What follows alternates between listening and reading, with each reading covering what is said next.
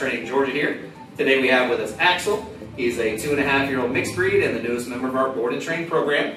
Axel comes to us for some awesome obedience with the major owner complaints of pulling very heavily on the leash, uh, lack of obedience with distractions, um, a little bit of resource guarding, a little bit of leash reactivity towards other dogs. So we'll go ahead and see what he knows already. Axel, here. Here. Good boy. Axel, sit. Good sit. Good boy. Down. Axel, down. Oh, thank you. You're very nice. Thank you. Place. Place. Place. Okay. Heel. Heel. Okay. So as you can see, he's got an idea of a couple of the basics, but nothing we can't improve upon. So we'll go ahead and get started today and check back with you in two weeks for his update. Thanks. Bye. Break. Good boy. Come on. Yes, good boy. Hi, buddy. Ah. Axel, here. Good boy.